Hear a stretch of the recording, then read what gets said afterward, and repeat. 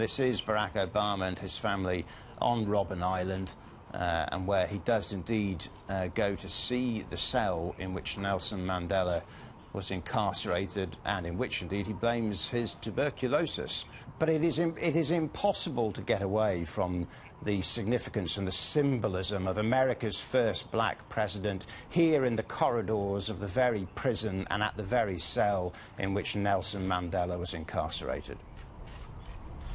No, that's right. It is deeply, deeply symbolic. There is a sort of shared history in a way, and, and many people here in South Africa, even if they may not agree with all of his politics, are seeing President Obama almost as a successor to Nelson Mandela on a global scale.